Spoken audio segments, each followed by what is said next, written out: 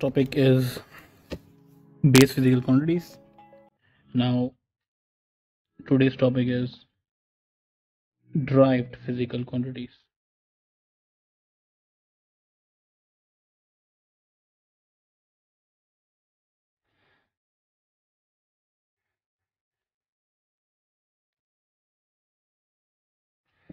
What are derived physical quantities? अब ये quantities भी आपके पास फिजिक्स के अंदर यूज़ होने वाली मेजर्ड क्वांटिटीज से ही मिलकर बनी है। तो जिसकी वजह से हम इनको ड्राइव क्वांटिटीज कहते हैं। तो ये क्वांटिटीज भी आपके पास फिजिक्स के अंदर बहुत इंपॉर्टेंट रोल प्ले करती हैं और there are many more not seven जैसे बेस क्वांटिटीज आपके पास सेवन थी नॉर्मली तो ड्राइव क्वांटिटी की कोई फिक्स आपके पास क्वांटिटी नहीं है, कितनी है? तो देयर आर मैनी तो डिफाइन करते हैं ड्राइव क्वांटिटी को। Those physical quantities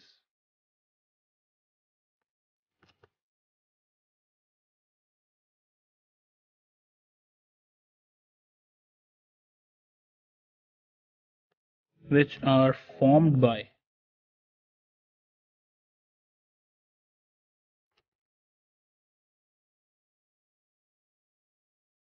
combination of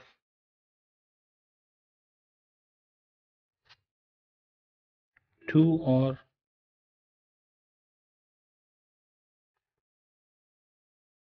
more than two base quantities.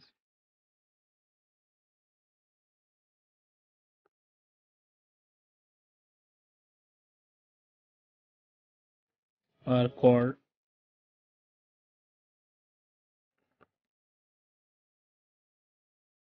physical quantities.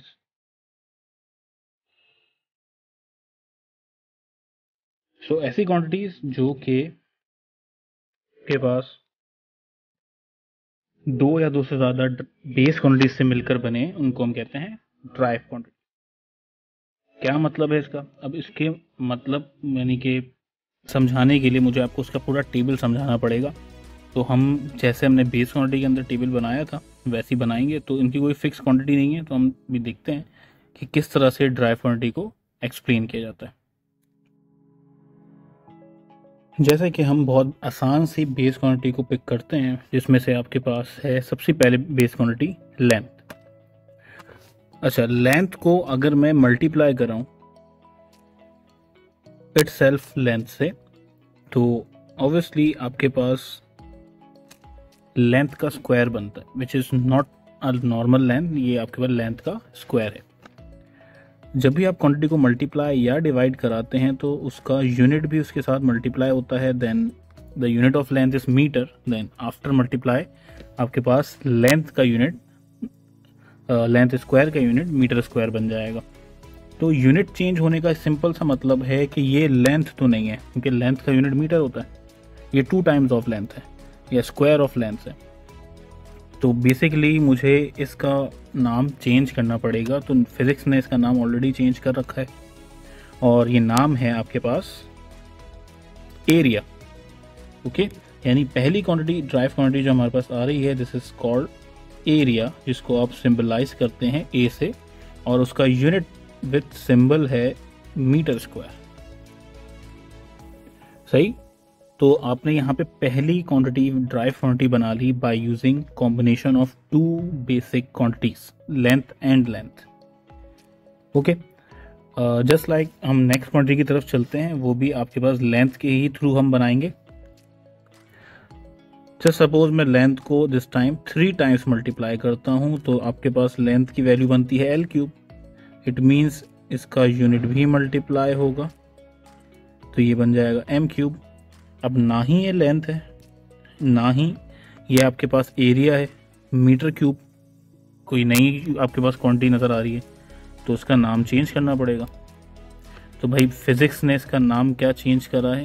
इसका नाम रख दिया वॉल्यूम तो अब आपको एक और नई क्वांटिटी मिल गई, जिसको आप फिज़िक्स की ज़बान में वॉल्यूम कहते हैं, हम इसको वी से डिनोट करते हैं and the unit of volume is metre cube ये दो शुरू की वो बेसिक एग्जाम्पल्स हैं जिससे आप बड़े आसानी से इमेजिन कर सकते हैं कि आप और कितनी सारी ड्राई क्वान्टिटीज़ बना सकते हैं। ओके अब कुछ नॉन क्वांटिटीज़ की तरफ़ और चलते हैं। जैसे कि आपके पास एक और बहुत आसान सी एक बहुत ज़्यादा री नोन आपके पास क्वांटिटी है विच इज़ कॉल्ड वेलोसिटी या इसको आप स्पीड भी कहते हैं। दोनों का सिंबल एक ही जैसा है। ओके तो अगर मैं स्पीड या वेलोसिटी की बात करता हूँ जिसका सिंबल है वी अच्छा वी को इस तरह से बनाने का रीज़न ये है कि ये स्मॉल वी है। तो आसान तरीका है कि आप इसको बनाएँ और एक तरफ़ से आप इसको रोटेट कर दें या इसको आप आ, कह सकते हैं राउंड कर दें।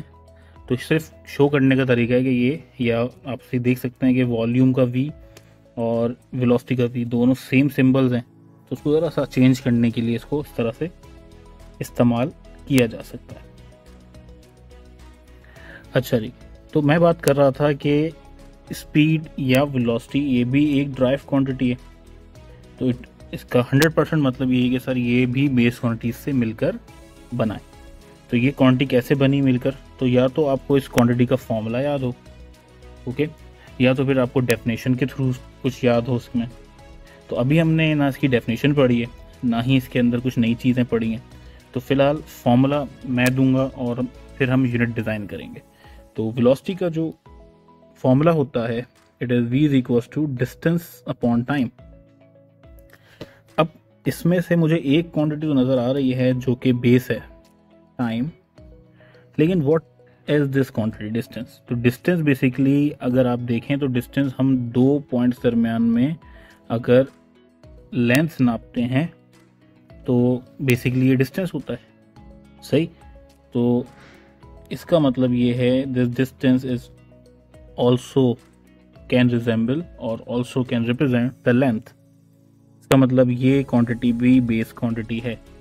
तो द यूनिट फॉर डिस्टेंस या फिर length according to base quantity is metre and unit for time according to base quantities is second तो आपने एक नई क्वांटिटी डिज़ाइन कर ली अगेन दो यूनिट बेस क्वांटिटीज़ की यूनिट्स को मिलाकर या फॉर्मूले को मिलाकर, जिसको आप कहते हैं मीटर पर सेकेंड इसको लिखने का एक और तरीका भी है। दिस मीटर सेकेंड इनवर्स सही। एक और क्वांटिटी की तरफ़ चलते हैं, सही, जिसमें आपके पास है एक्सेलरेशन जिसको आप स्मॉल ए से रिप्रेजेंट करते हैं। अब एक्सेलरेशन क्या है?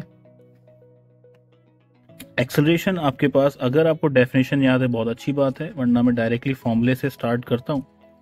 So acceleration is rate of change of velocity basically आपके पास ये हो जाएगा वेलोसिटी पर यूनिट टाइम तो एक्सरेशन होता है वेलोसिटी पर यूनिट टाइम तो वेलोसिटी तो हम ऑलरेडी यहाँ पे फाइंड आउट कर चुके हैं वेलोसिटी का यूनिट क्या होता है? मीटर पर सेकंड और टाइम का यूनिट तो हमें ऑलरेडी पता है इट इज़ सेकेंड तो इसको अगर मैं सिंप्लीफाई करता हूँ तो बेटा ये बनता है मीटर पर सेकेंड स्क्वायर सही? तो मीटर पर सेकेंड स्क्वायर बनने के लिए इसमें हमने क्या किया? हमने एस को नीचे शिफ्ट किया इस वाले एस को नीचे शिफ्ट करा और शिफ्ट हमने नहीं करा अकॉर्डिंग टू कंडीशन एस को नीचे ही आना था जिसकी वजह से एस एस मल्टीप्लाई होकर एस स्क्वायर बन गया।